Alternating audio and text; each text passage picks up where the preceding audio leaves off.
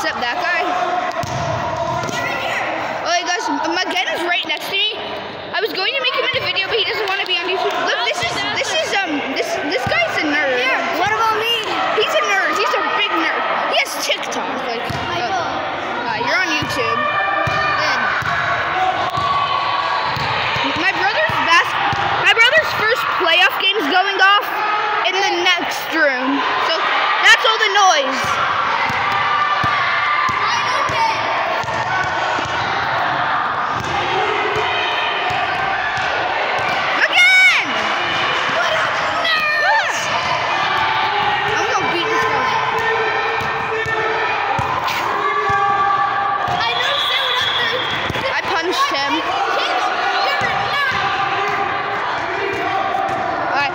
Punched him in the stomach.